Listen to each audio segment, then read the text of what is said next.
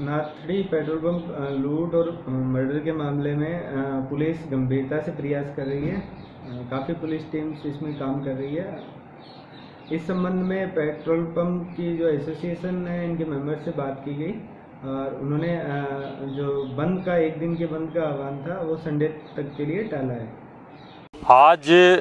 जिला पुलिस अधीक्षक के प्रतिनिधि के रूप में, जो यहाँ के हमारे स्थानीय डिप्टी साहब वेरी प्रसाद जी सोमानी ने उनने, उन, उन्होंने हमें सब डीलर्स को वार्ता के लिए आमंत्रित किया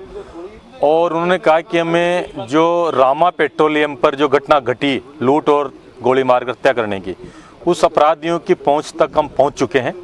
और संभवतया दो या तीन दिन में हम उस पूरी लूट की डकैती को उजागर कर लेंगे और गिरफ़्तार करके आपको बता देंगे। सब dealer association H P C L B P C I C L S R Reliance पाँचों कंपनियों के जो हमारे एक सौ छप्पन पंप है टोंक ज़िले में अभी सबने सामूहिक निर्णय किया है कि प्रशासन ने जो जिस गंभीरता से अपराधियों को पकड़ने के लिए संलग्न है और उन्होंने हमें विश्वास दिलाया है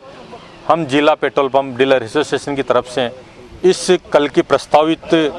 जो हमारी सांकेतिक पेट्रोल डीजल की बिक्री बंद करने की हड़ताल थी उसको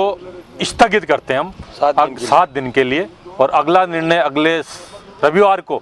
पूरे ज़िले की मीटिंग कर कर अगर इन्होंने गिरफ़्तार नहीं किया तो फिर वापस बंद किया।